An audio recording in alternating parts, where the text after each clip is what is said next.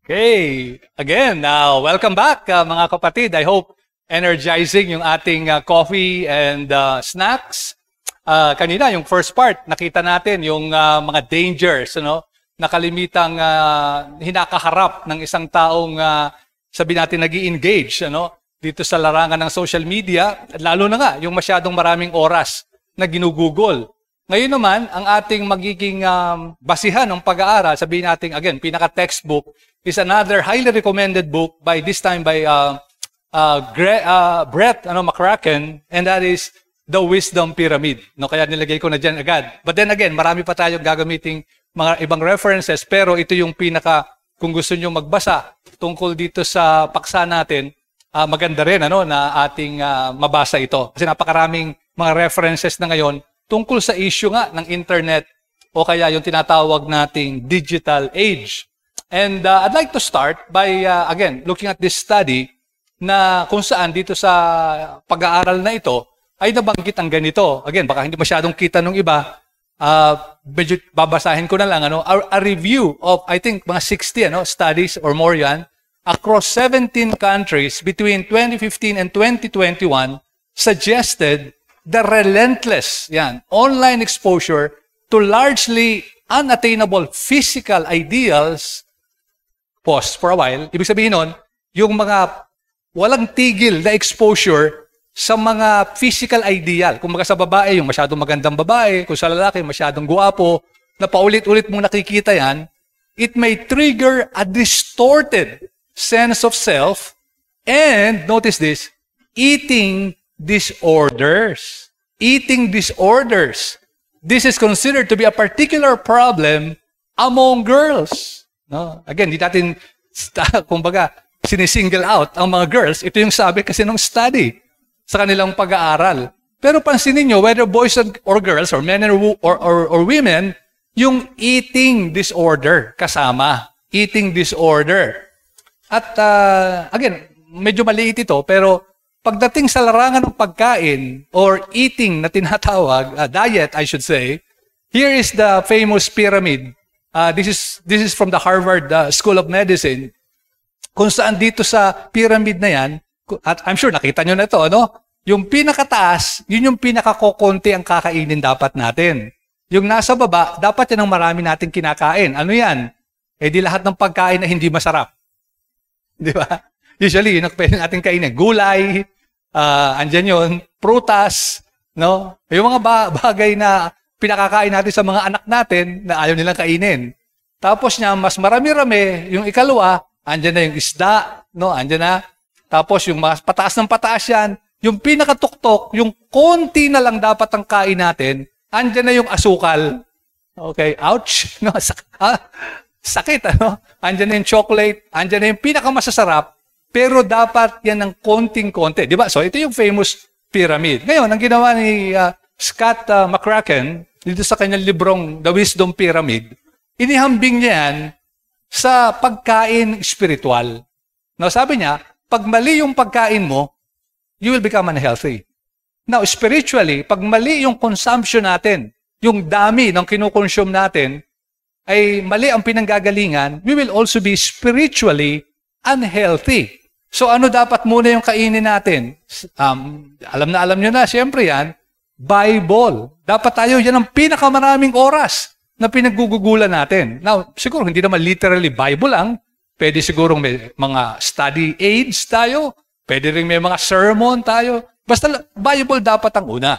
Ikalawa, ay sorry, uh, balik natin. Ikalawa, sabi ni McCracken, dapat din yung church. So, andyan yung pag-attend sa church every Sunday, fellowship, dapat maraming oras ang pinagugugulan natin dyan.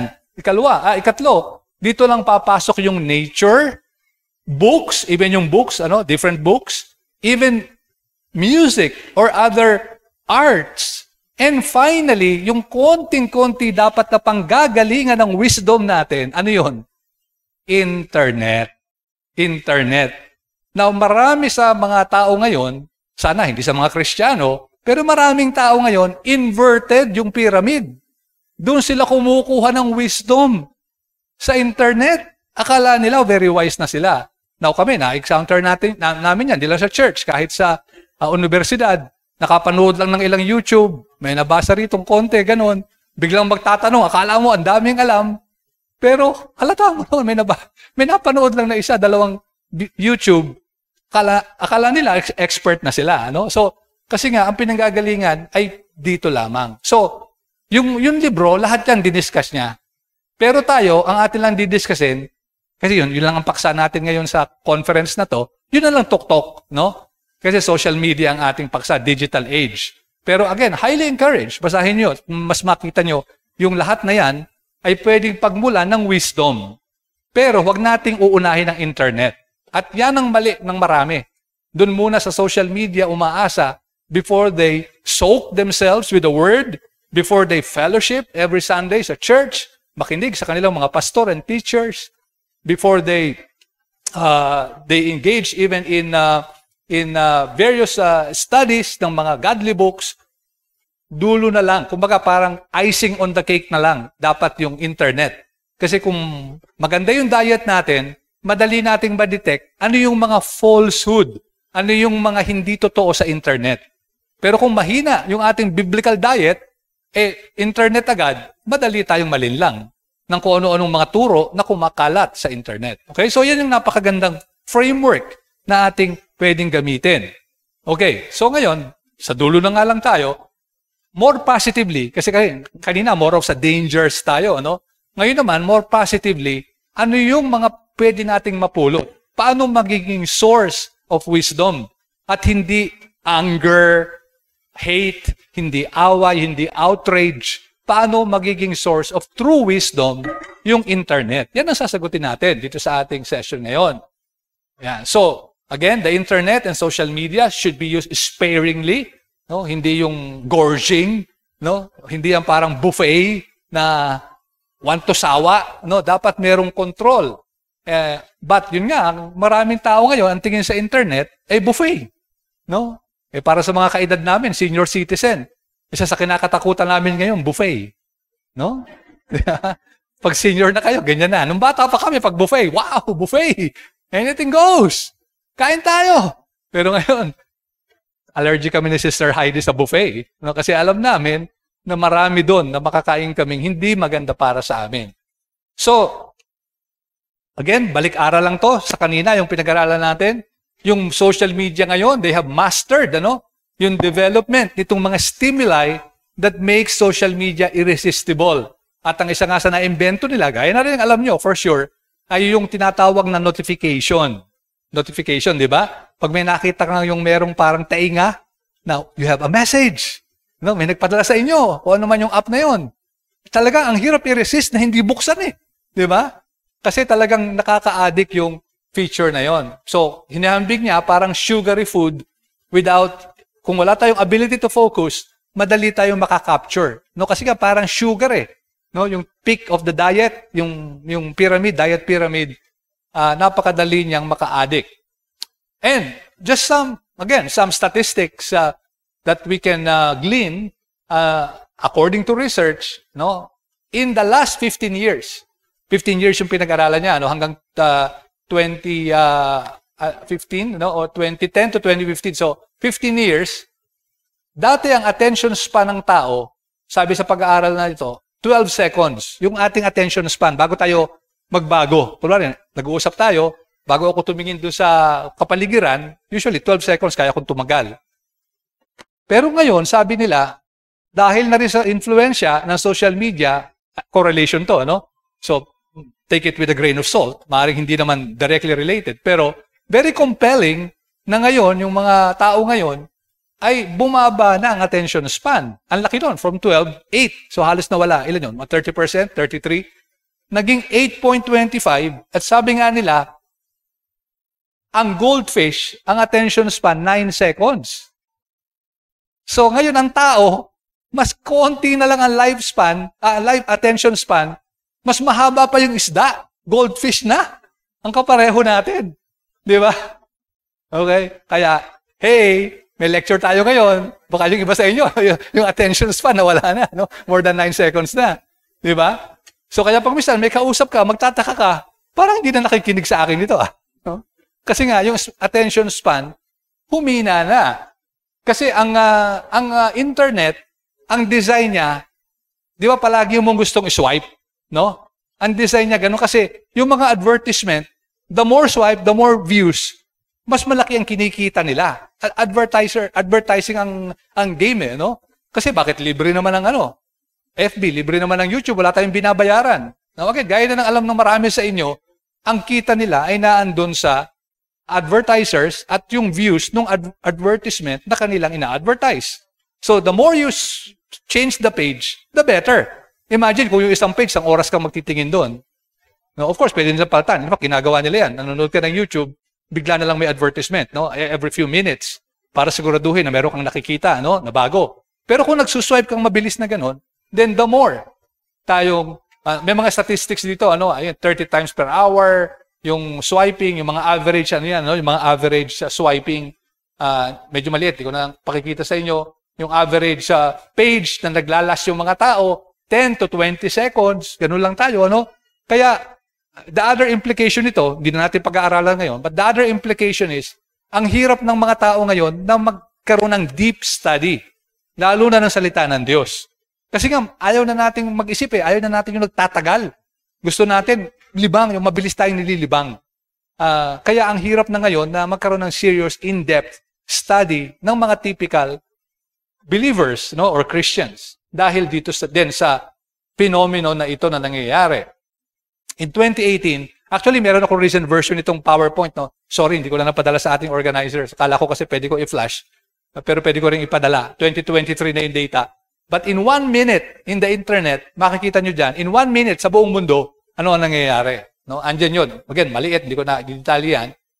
At uh, itong picture na ito, na-publish sa Boston Globe, isang newspaper, noong 2015. At ang katakataka rito, meron superstar or somebody famous na dumarating. No? So, andyan yung mga tao, nagiintay lahat do sa famous. Pero anong mapapansin nyo? Halos lahat ng mga tao, ano yung hawak nila? Cellphone cellphone. Kailangan makunan ko to, then mai-post ko kagad. Pero may isa na matanda, na nakabinilugan, kaya binilugan ko yan, siya lang ang walang cellphone. Talagang nakikinig siya. At nanonood siya.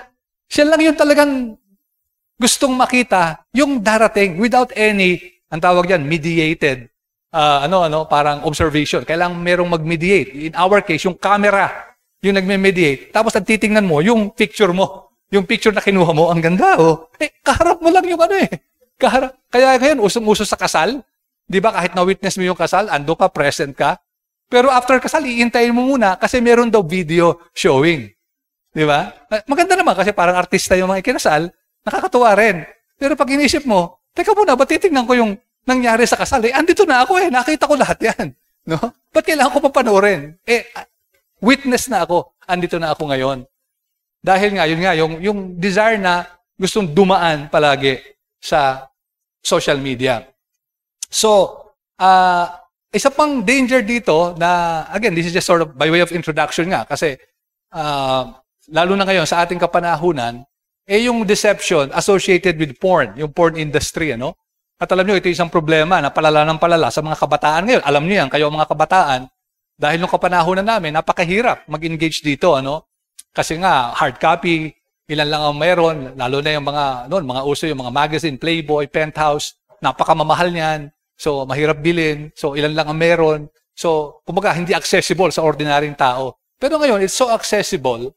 Kaya, siguro ito yung isang manifestation na kami, no? At siguro, ibang mga pastor dito, makakapagpatotoo, na ang dami ngayong kabataan, na mga bata pa, siguro, young couples, kinasal sila, recent lang, nag struggle sila sa sexual life nila. No? nag struggle sila. Kasi pareho ng kumbaga, uh, halos pareho, babae at lalaki na, na ano na, ano, na, na-saturate na nung mga sexual images na kalimitan naman fake or sabihin nating too good to be true. Ano? So kaya meron na silang maling konsepto ng mga bagay na ito. Pag nag-engage na sila sa actual act, nahihirapan na sila. No? At yan yung isang unique no, in terms of counseling. Again, I'm speaking as a pastor. Yan na ngayon, yung mas parang mas malimit kung kinakaharap. Nung una, halos hindi. Walang ganun halos. No? Pero ngayon, ang dami mga ganito ako na-encounter na mga young couples no, na merong ganitong struggle. So, anyway, uh, part yan ng epekto na nga nitong uh, saturation ng social media. So ngayon, tingnan natin, mga negative yun, ano? Ano ngayon yun namang positive? Kasi hindi naman lahat yan negative, no? Are we saying na huwag na tayo mag-internet, huwag na tayo mag-social media? Of course not, no? Kasi we believe na lahat ito ay pwedeng gamitin para sa kalwalhatian ng ating Panginoon. At number one benefit nga ng internet ay yung tinatawag na access. No, meron tayong access. In, in my time, 1970s, totoo itong sa, sa akin to, no? karanasan ko yan, doon sa aming bayan, San Pablo City in Laguna, may kaisa-isang library. No, kasi mahilig na ako magbasa, ma high school lang ako noon. So, na-excite ako, no? Kasi galing ako sa school namin, ang daming libro. So, bakasyon, summer. Ah, may library pala dito, San Pablo. So, na-excite ako. Punta agad ako doon. Tiningnan ko. Naku, nakakaawa yung library. Halos walang libro. May isa doon nagbabantay na halos, kumaga, parang walang masyadong uh, interest na i-entertain ako. Pathetic na pathetic talaga yung experience ko na yon. Pero ngayon, with the internet, we have such an access to knowledge. No, anyone, almost any time, can learn anything. No, kahit ano. Minsan ako nagugulat din eh, no? yung iniisip ko na wala na nakakaalam. Yung pala sa internet, isang click mo lang doon. Kaya 'di ba kasabihan na ngayon, Google it. No? 'Di ba? Nasabi niyo na ba 'yon? No? Google it. No? Sa mag-asawa, pinag-aawayan 'yan. Honey, ano nga bang ganito? Google it. Huh? Sungit naman. Di ba? Eh, Google it eh, no? Kasi nga naman, lahat ngayon, doon mo na makikita. At uh, yan ang ating karanasan. Halimbawa, dito sa, ano, ano, yung online courses, no, nag, nag-search lang ako. Again, internet din ang ginamit ko para i-search ito, ano. Yung mga top trending online courses, no, nagulat ako dito, ano, sa mga online to, 2023 data na to. Data science, artificial intelligence, big data, business intelligence, cloud computing. Marami dito, hindi ko na maintindihan eh, no? Dito sa top 5 na to. Pero I'm sure kayo, mga kabataan, ito yung siguro yung inyong interest. So halos lahat yan, pwede nyong matutunan. Itong Udemy, no, by numbers.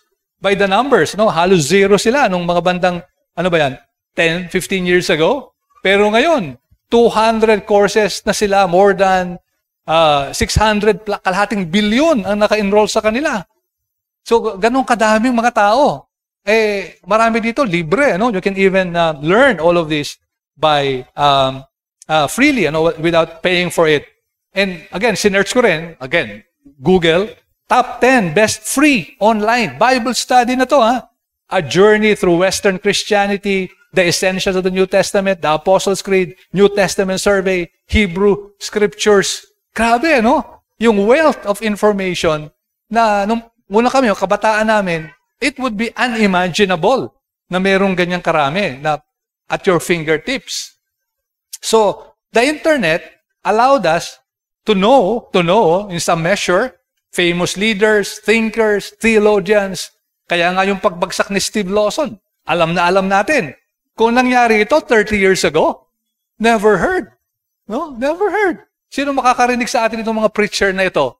Eh, alam na alam ng mga matandang pastor dito, ang aming binabasi, ang aming pinakikinggan lang noon. Kung gusto mo marinig yung mga preacher noon, ay cassette tape. Di ba? Nabutan niyo ba yung cassette tape, yung mga bata dito? Never heard? Sa museum niya lang yung nakita? No? Di ba? Ah, yung pala yun. Di ba? Kaya kami noon, na ang hirap hanapin pag nakinig ka tapos may ibang nakinig. Di ba? Tapos ang hirap i-advance, lalo kung wala kang recorder. Lapis ang gagamitin mo, iikot mo yun. No? Hanapin mo. Saan kaya? Pinakikinggan ko dito. So, again, ngayon, katawa-tawa na lang ito pag aming inaalala. Pero ngayon, no, you can meet all of these thinkers. It's a big help para sa amin, pastors, teachers, Bible study uh, students, pero pwede ring malason tayo. So may access tayo sa maganda, may access din tayo sa hindi maganda. Pero ano yung access? So benefit yan na ngayon ay maaaring hindi nyo ma-realize yung mga Gen M, Gen Z. Pero kami, talagang ang laki ng tulong sa amin kasi nga nagbukas yung mga dating information na hindi available. Yung pagbili ng mga libro, alam niyo nung una, thousands and thousands of pesos. Kahit naman ngayon, mahal pa rin. Pero ang laking mura yung electronic version, kaya mo pong kahit nasan ka. Kaya ngayon, yun lang, uh, yung lang uh, iPad or computer natin, yung tablet pala, eh, binilang ko nung minsan, easily, baka 500 books yung laman. Nung ano na never ko ma-imagine na kaya kong bilhin 'yan nung unang panahon. No, pero ngayon isang ganun lang, dala mo pa kahit nasa bulsa mo nga, cellphone. So, amazing yung access, ano? At yung mga Gen M, ayun, nagalit na yung ano, ano, walang access sa internet. Hindi, biro lang, no? Of course, hangin lang yun, mga kapatid. So, um, uh, makikita natin na may access tayo. Ikalawa, na, na advantage o benefit, meron ngayong platform para ating i-broadcast yung mga worthy causes na dati never heard. So ngayon, may isang church somewhere sa isang probinsyang malayo na practically, again, walang nakakaalam halos. Pero meron pala siyang YouTube channel. Pwede niya sabihin doon yung mga pangangailangan ng kanilang iglesia o kaya ng kanilang uh, komunidad, ng kanilang barangay. Tapos yung mga historically marginalized or underrepresented sectors na dating walang boses, ngayon, meron lang silang camera pwede na silang mag-podcast, no? Kahit sino pwede magkaroon ng sarili nilang practically television channel. Imagine that, ano? Eh noon, kailangan napakayaman mo para ka magkaroon ng ganong access. So, halimbawa, ito yung example na ginagamit ko rin. No, sa aming church, every prayer meeting, nagpe-pray kami no, sa isang uh, church somewhere sa buong mundo na uh, o mga bansa na may mga persecuted believers. No? And sa namin kinukuha yung ano, yung paano na malalaman kung ano yung mga bansa at ano nangyayari doon. Fortunately, may Open Doors website, no? Naandyan by country. Yung pinaka most persecuted number one all the way sa mga bansa na paano ng paano ano pa well from one yung pinakamatindi hanggang sa so pwede mo ipanalangin yan dahil ngayon alam mo na yung nangyayari sa bansa na yon so kahit di nila tayo kilala di, di rin nila tayo kilala eh we are able to pray for our fellow believers na persecuted, no? Wherever they are in the world. Ikatlo, consensus. Yung tinatawag na crowdsourcing. No? Pwede tayo makakuha ng opinion ng marami mga tao, which could be a blessing. No, halimbawa, narito ka, bago ka dito sa Silang, Dasmariñas area, uh, gusto mong kumain somewhere, naghahanap ka ng okay na kainan, pwede kang pumunta sa isang website, kagaya ng Yelp, uh, tapos tignan mo ron, ano yung mga popular well-reviewed restaurants. No? At doon na lang makakapag-idea ka na, ah, okay pala tong ano, mura lang, uh, tapos uh, masarap pa yung pagkain, uh, dito na lang ako kakain. No? So, again, you benefit from the wisdom of the crowds. At marami sa atin ang tumitingin sa mga reviews bago natin, halimbawa, bilhin ng isang bagay. No, unlike before, ano lang, tsamba-tsamba lang or kakapakapay, titingnan mo.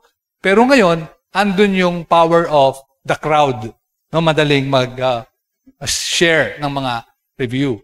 So that it can be harnessed, yung, yung consensus o yung power of the crowd to expose hidden injustices, kung may mga nangyari. Kaya kagaya sa Amerika, nagkaroon ng Me Too movement para yung mga naharas o na-abuse, magkaroon ng platform para sa kanila. So, yung mga powerful people na dating hindi natin sila pwedeng sawayin, eh ngayon pwedeng sawayin ng isang simpleng uh, simpleng ano ba, revelation or uh, pagbubunyag no na kahit, kahit gawin ng kahit sinong tao sa buong mundo. No so ang hirap ngayong magtago ng iyong kamaliang ginagawa. Kasi kung may makakita 'di ba malimit tayo sa balita. Meron bawa may nangyaring ganito merong uh, abuse na nangyari sa karsada uh, police or kahit sinong nagbanggaan. Maya meron nang yung pala kumukuha ng ng ano ano footage. And before you know it biglang papalabas yung footage na yan. No, dahil nakunan. Of course, pag minsan mali yung kwento kasi isa lang bahagi ang nakikita. No, again, may danger. But still, uh, we can uh, address injustices and check the powerful. But again, it can also be used yung tinatawag na cancel culture, di ba? Yung pwede tayong i, uh, kumbaga, i-bully to submission, even to cancel us, kumbaga, parang to delete us dahil sa galit, yung kanina, yung outrage na pwedeng ibuho sa atin pag tayo ang hindi nagustuhan nung, nung isang tao, nung crowd ng, uh, ng, ng mga, mga certain, sabihin natin, groups. So, but in general, may benefit. No? Kasi nga, we get consensus through uh, this platform. So, secondly ngayon, therefore, how do we cultivate good habits? No, ano yung kapamaraanan para tayo ay magkaroon ng good habits as we engage? Kasi we're not saying na masama nga ito. In fact, sinasabi nga natin, maraming benefits. Pero kailangan din merong guardrails na tinatawag. Kailangan merong bantay o bakod para hindi tayo mahulog sa kaliwa o sa kanan. Yung guardrail sa tawag natin. At titingnan natin ito sa dalawang mahalagang prinsipyo. Na again, alam na alam nyo to, I'm just reiterating it. Number one, 1 Corinthians 10.31, So whether you eat or drink, very famous passage, for the right reason. No, dahil talaga namang napaka-useful.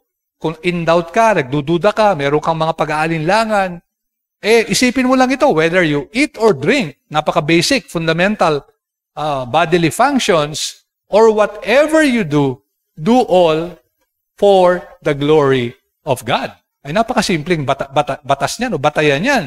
Pwede mo yang isip-isipin pag nag engage ka sa social media.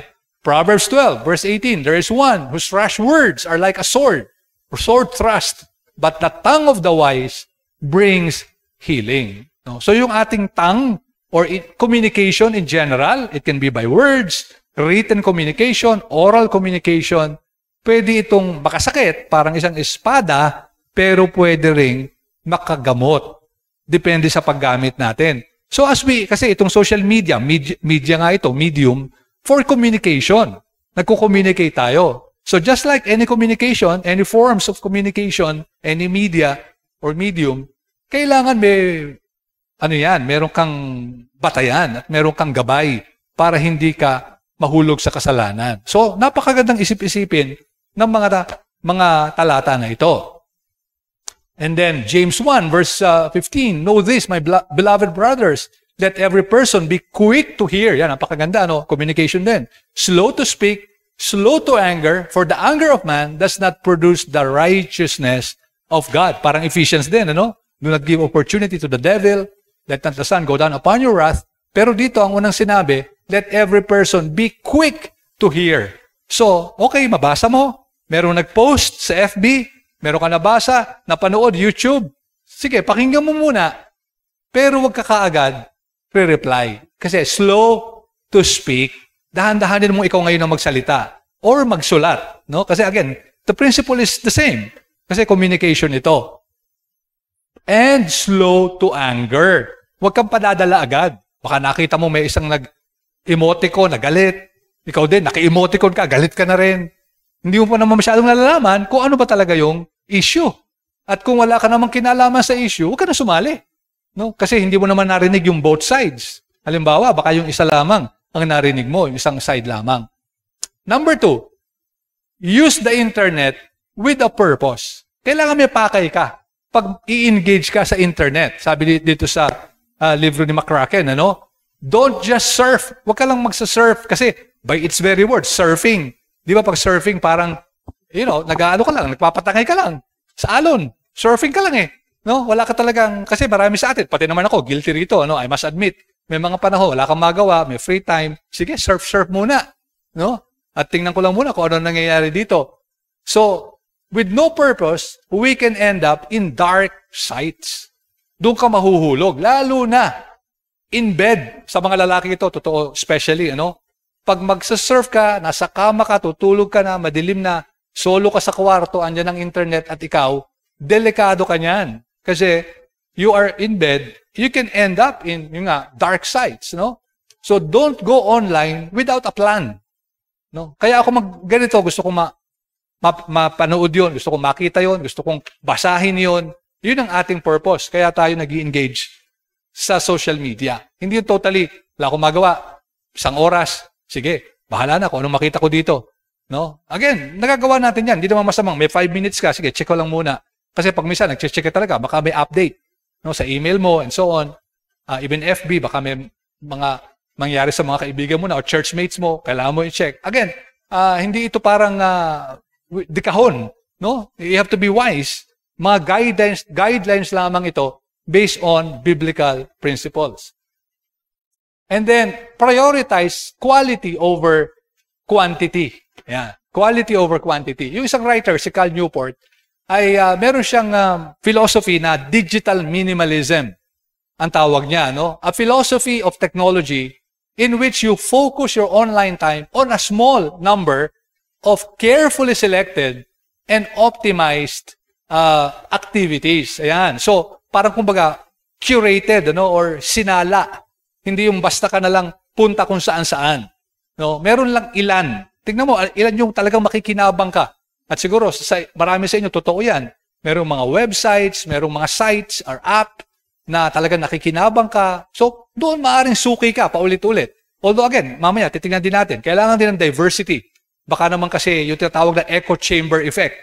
Pinapakinggan mo, yung palaging kapareho mo rin, hindi ka na matututo. But anyway, dito sa part na to, mahalaga na yung talagang uh, alam mo, validated, uh, napakinggan ng pastor mo o mga kapatid mo, nirekomenda sa'yo, pinakinggan mo, very solid, very uh, uh, godly, uh, faithful to the Bible. Eh, ako may mga ganyan. In fact, nasa memory yan, di ba sa YouTube? Pwede kang mag-subscribe dun sa mga channel na talagang magaganda ang laman. Eh, gawin natin yon No, kumbaga, uh, salain natin, i-curate natin ano yung ating mga pinapanood with the guidance of the Spirit. You know, at times even prayer. Uh, so the support, so yung mga nagsusupport ng mga values natin, in our case, Christian values, and happily miss out on anything else. No? Be content to miss out. No? Kung hindi siya maganda at nakaka-provoke pa ng iyong pagiging makasalanan, ay hayaan mo na. Kahit alam nila lahat, yun ang pinapanood nila. No? Kaya kung di mo alam, okay lang. Kaya pag minsan sa office namin, ah, minsan nakakantsawan ako. Kasi pag may sinabing artista o kung sino mang famous, talagang hindi ko kilala. may napanood na ganun, hindi, ako na, hindi ko napanood. So alam na nila na ganun ako, ano, marami akong hindi alam pagdating sa larangan ng kunwari nga, mga artista and so on. So hindi tayo dapat mapahiya na wala tayong alam. Now again, I'm not advocating for isolationism or maging ermitanyo kayo, hermit, na pumunta kung saan kuweba. No, no, we want to know what's happening to the culture. Pero at the same time, we must be ready to miss out. Kasi yung fear of missing out, F-O-M-O, FOMO, no? Marami ngayong mga kabataan, takot ako dyan, fear of missing out. Ha? Kumalat na yon? Alam na nila? Hindi mo alam. Parang ikaw pa ngayon yung ano, guilty. No, na hindi mo alam. Eh, pwede mo naman sa, ba't? Uh, karapatan ko bang malaman? May nawalan ba ako kung hindi ko malaman? Eh, pag misa naman, hindi. So, okay lang na hindi mo alam yung ibang mga bagay.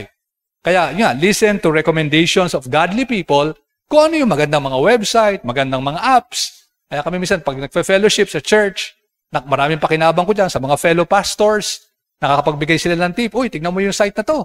No? Kung gusto mo magano, hindi ka masyado, hindi ka maalam sa Greek, meron ng site na ganun. Ando na yung mga, ano, parsing and everything. Ha? O, meron ba? So, ang dami, ang bilis ng exchange. O, may ganitong libro, kababasa ko lang. Uh, pastor, baka gusto mong basahin. So, even kami as pastors, iba, medyo nag-iiba yung role namin. Kumpara nung 40 years ago, na magsimula, 4 decades na kami nagmi-ministry dito, yung mga matandang pastor, ay pag kami nag-aral, halos kami lang ang may alam. Eh ngayon, pag nag-preach kami, posibleng yung kalha- mahigit sa kalahati ng audience ay uh, nagbabasa rin at nabasa rin yung kunwang, isang sermon na related doon sa sermon namin. Pwede rin nagbabasa ng ano, commentary. May mga ganyan eh. Habang nagpipreach ka, binabasa yung Bible. Eh yung Bible niya, may commentary din. Pinipindot din niya kung ano yung sinasabi ng commentator. Uh, of course, wag niyo gagawin yun. Ano? Hindi recommended yun. No? I'm not recommending that. Sana wag natin gawin sa mga pastor natin yun habang nagpe-preach sila. Ano? Pero ganun ka-powerful yung, ano, yung, uh, yung, yung technology na nag-iiba rin yung aming uh, yung pangunguna namin sa iglesia eh mas hindi na kumbaga may ibang challenges ano sabihin na natin ganoon and it's also a good check for us to make sure na nag-aral kami mabuti otherwise halatang halata ng aming congregation kung mismo kami ay hindi nag-aral. Okay, but back to our topic. Slow down. Yan, slow down. Easy lang. Hinay-hinay lang. No? Kasi slower pace contributes to wisdom. Ito kasing internet, ang gusto ng social media, yung nabanggit ko nga sa inyo na, I'm sure alam ng marami sa inyo, yung algorithm niya is designed dahil nga sa advertisement by the number of clicks. Di ba? Kahit nga yung kung meron kayong pinost, di ba? Merong statistics, ilan ang nag-like, no? Sana wala nang dislike. Pero, di ba, binibilang niya yung likes, no? Wow, dami nag-like. No? Tuwa tayo pag may pinost tayo, ano?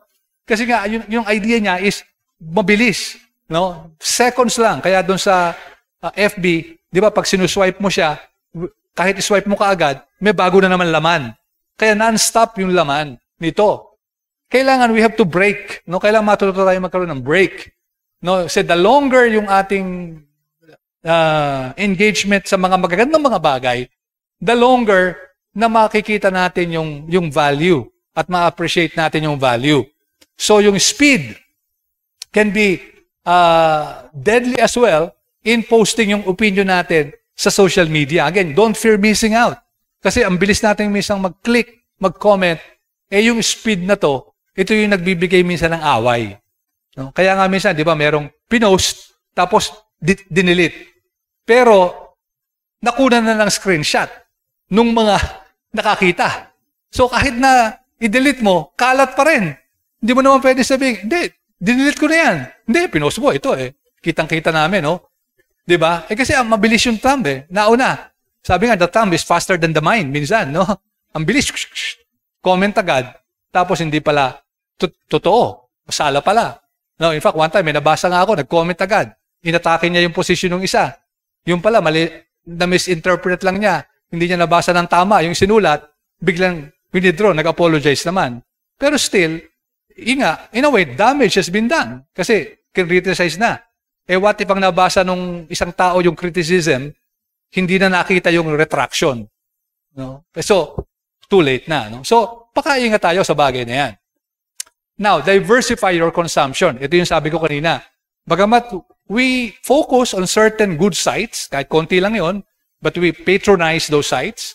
Pero, we must also diversify. Kasi nga yung echo chamber effect na tinatawag, pag yung pinapakinggan mo, yung kapareho mo rin, parang nag-e-echo lang. No? Wala kang bagong bagay na natututunan. So, we must, we can check new things, read varying news once in a while, even Armenians, uh, kung meron silang mga posting na baka naging blessing sa'yo, uh, hindi naman nakakatakot yun. Ano? Again, I'm not advocating na palaging yun ang gawin natin. I'm, what I'm si- saying simply is, at times, vary your consumption para naman makita mo rin yung mas malawak na mundo at lumawak din yung ating pananaw share what is good. Ayun, kanina maalala nyo, uh, anger is, rage can be viral, pero yung awe, no, yung pagkamangha, can outpace outrage. No? So we can share what we discover to be good, edifying, things that bless others. No, we must not abandon so- social media, but we can be salt and light even in the darkness around, surrounding, I mean, social media. So wag tayong mag-cop out, wag tayong Kumbaga, mag-isolate, we can engage. Kasi whether we like it or not, andyan na ang mga tao.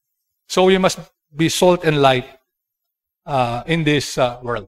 Okay, may isa pang magandang libro, yung uh, booklet nga lang eh, sinulat ni Jeff Johnson, na ang title naman is Taming the Fingers.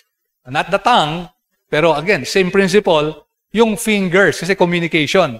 And at apat yung main points na o lima, before we post anything, sabi niya, itanong natin, am I uh, controlled? May control ba ako? Am I calm related to that? Am I careful? Am I compassionate? Am I conscientious? Yung conscience natin, no? Ay ginagamit natin. So, yan yung limang, ito yung summary, basically ng libro, uh, na pwede nyo basahin din. Kasi ang ganda rin ng mga guidelines na sinabi niya para maging wise yung ating engagement sa social media. Brother, ayaw, ayaw yatang mag-move itong ating, brother, pwede pa press. Ayaw mag-move yung ating, yun. Ayaw mag-move. May time pa naman tayo, no? Yan. So, discerning, okay, Now, in pursuing wisdom, how do we pursue wisdom? Uh, given all of this, no? Number one, yung kailangan ng discernment, again, this is parang uh, re, just emphasizing yung point kanina, yung discernment in a too much world. Kasi nga, itong social media ngayon, parang buffet talaga. Even more than buffet. Kasi alam, I'm sure nakakain na kayo sa mga buffet uh, restaurants, talagang parang ang dami. Pero even yung mga pagkain, yung dami ng mga pagkain doon sa mga restaurant na yon ay is dwarfed by social media. No, kaya kailangan huwag tayo maging glutton, no, or yung gluttony, yung sobrang pag-consume. Kaya nga parang diet eh, no, comparison natin. Ganun din sa social media. So the wise person must have self-control. It's the fruit of the Spirit, Galatians 5, 22 to 23 discipline in more time in the Bible than surfing more time with the Word of God, more time sa mga bagay na makakatulong sa ating paglago rather than surfing uh, the internet. Number two, patience in a too fast world. Kanina, too much, no? Kasi para ding ano yan eh, diet. Too, too much, yun yung buffet, gluttony. Ngayon naman, fast food, di ba? Fast food, very popular ngayon. Hindi ka na makahintay. Dati, napakabagal ng pagkain, dahan-dahan kang bibigyan. Sige, tubig muna. Oh, kalahating oras na, tubig pa lang. Kailan ba darating yung pagkain? Tapos bibigyan ka ng maliit na appetizer. Ha, ito lang. May pagkain kayo darating. So, ang tagal, dalawang oras yung pagkain mo, no? Pero ngayon, ang gusto natin, pag in-order natin, within five minutes, andyan na, kompleto na. Sa, sa harap na natin. Pwedeng magkaganon din sa social media. People want to consume the latest. Kaya ngayon, napakahalaga ng trending. Di ba? Palagi trending. Ano ba yung trending? No, kasi ayaw natin mahuli kasi trend nga yan eh. So, na-discover nila nung mga gumagawa ng mga apps, napaka-powerful pala ng salitang trending. No? Kasi, yun nga, fear of missing out. Ayaw nating mahuli sa balita. So, wisdom is the willingness to slow down, process information, yeah, finding some quiet time, our Sabbath rest. So, i-ano natin intentionally, pahin, pabagalin natin. Huwag tayong patangay dun sa bilis ng social media. But find time to just slow down, meditate, think about things, rather than palagi tayong natatangay ng social media. Third, humility ay kailangan din. No, yung masyado namang focus on me. No, so gluttony, fast food. Tapos ngayon naman, di ba kaya very popular yung mga bago mga coffee shop ngayon kasi pwede kang mag-order ng very detailed, no? Di ba? Kasi pinagtatawanan yan. Siguro, nabalitaan niyo yan. Can I have a brewed coffee with cream on top, less sugar, mix, and with this and that? Ang dami mong pwedeng, ano, kasi naka-tailor sa'yo. Gusto nila yung pagkain. Eh, tandaan natin, hindi tayo ang sentro ng mundo. Kailangan ng humility, ano? Not trusting ourselves, seeking the wisdom of others, humingi tayo ng tulong sa mga kapatid, maaaring may maipayo sa atin. And so, andun yung intellectual humility. Hindi yung parang alam nating lahat, madali tayong mag-comment, madali tayong mangantsaw sa internet. At uh, ito ang example. Uh, oops, sorry. Uh, Brad, pwede po ka ba? Balik ko lang. Sorry. Nawala pala dito yung example, ano? Kasi tinitingnan ko lang yung, uh, yung uh, nangyari nga kay Steve Lawson at kung inyong papansinin, dun sa mga comments, uh, na-research ko actually, kasi nga, in preparation for this conference, chinek ko yung mga example, grabe yung ibang comment doon. No? Kasi si Al Mohler, yung isang pastor din, nag-comment uh, sa kanyang uh, sermon, hindi naman niya pinangalanan si Steve Lawson, pero nag-comment siya. Pero dun sa article na yon sa ilalim, ang dami ng comments. Tapos ang nakalagay doon, nag-comment yung isa, Al Mohler next. Sabi, kasunod ka na, Al Mohler. So, kinansyawan. Tapos may nag-comment na isa, after you. after you. So, eh, yung mga ganun, is that Christian, ano, ano, uh, yung ba tingin natin eh, edifying ba yon Na kung nag-sermon si Al Mohler, tapos, yun nga, ganun ang pangangantsaw niya. Eh, so marami tayong makikitang ganun. Kaya, yung pag nag, uh, ano tayo, nag, uh, nag-discussion sa FB, makikita natin, parang pangangantsaw yung mga comment, no? Sabi niya, uh, tunay ka bang kristyano? Ba't ganyan ang paniniwala mo? Yung mga ganong asasakit na, ano, ano? Ito ba'y uh, kristyano ba nagsasabi nito? Parang, yung parang kantsaw nga ang dating na nakakasakit sa kapwa. No? Kasi parang, uh, parang uh, iniinsulto mo na kaagad yung, or nag-iisip ka ng masama tungkol sa iyong kapwa. So maraming example na ganito. I'm sure mas familiar kayo kasi mas engaged kayo dito kaysa akin, ano? So wisdom is freeing. Sabi ng Panginoon, Jesus said to them, uh, if you abide in, in my words, you are truly my disciples. And you will know the truth, and the truth will set you free. So yung truth, yung katotohanan, meron siyang pagpapalaya sa atin. Of course, una sa lahat, salvation, freedom from sin, the power of sin, the penalty of sin, Uh, pero at the same time, lumalaya yung kaisipan natin, natututunan natin, ano ba yung katotohanan? Hindi tayo nasa kadiliman at uh, sa kabulaanan. So wisdom is uh, yung more of orientation than information. Yung uh, nagfo-focus ka, no, sabi ni McCracken, more of sa Panginoon ka nakatingin. Parang itong sinabi sa Psalm 25, uh, verse 15, My eyes are ever toward the Lord, for He will pluck my feet out of the net. Yung focus ang mahalaga. No, my eyes, Psalm 123, verse 2, Behold, as the eyes of servants look at the hand of their master, as the eyes of a maidservant in the hand of her mistress, so our eyes look to the Lord, our God, till He has mercy on us. So yun yung wisdom na hinahanap natin. Yung mas nakikilala natin ang Diyos, the triune God, nakikilala natin ang Diyos Ama, ang Diyos Anak, ang ating Savior, and the Holy Spirit who dwells within us. Ito yung wisdom na dapat nating hanapin sa internet. It is also listening to God. In quiet moments, mas naririnig natin ang Panginoon. Kasi nga yung ating uh, lipunan ngayon is inundated by noise. No, ang daming ingay nating naririnig. Eh kung di tayo mapili at maingat, puro ingay ang maririnig natin. We will not discern the voice of God, yung sinasabi ng Diyos sa atin. It's also loving God. Pag, pag-ibig sa Panginoon, John Owen said, not to be content to have the right ideas of the uh, of the love of Christ in your mind unless you have a gracious taste of it in your heart. Hindi lang alam intellectually, kundi sa heart, experientially, sabi ni John Owen. And if we do this, yung tunay na heavenly wisdom will lead to the glory of Christ. Ating luluwalhatiin ang ating Panginoon. At ito mga kapatid ang dapat nating hanapin sa social media.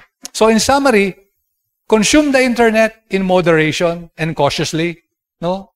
Consume natin, yes. No, hindi natin sinasabing mag-abdicate tayo or mag-isolate tayo. But let's uh, consume in moderation, cautiously, intentionally, and focus on knowing and loving the triune God as we engage in social media. Sana lumalago ang ating kaalaman, ang pag-ibig natin sa ating Diyos. Ito ang gusto nating hanapin, mga kapatid. And with this, I think that's my last slide. At uh, again, before we go to the open forum, magwakas muna tayo sa panalangin. Manalangin tayo, mga kapatid. Our loving Heavenly Father, again, we thank you for the gift of the internet, the gift of social media, the knowledge, the much uh, information na amin pong nakakalap uh, sa pamamagitan nito, natutulungan kami, lumalago kami sa pananampalataya. But Panginoon, we also confess how many times we have fallen uh, into sin dahil sa social media, maaring uh, overconsumption, maaring consumption of uh, sinful and evil content, or even uh, communicating in an unchristian way. Lord, forgive us of these sins. At tulungan nyo kami ngayon na mas maging maingat sa paggamit sa bagay na ito at sa aming engagement sa social media ay maging kapuri-puri uh, kami sa inyong harapan at ang inyong kalawalhatian ang aming hanapin. Salamat sa aming pag-aaral ngayong umagang ito. Be with us as we now go to the open uh, forum and discussion. Sa pangalan po lamang ng aming Panginoong Jesus. Amen.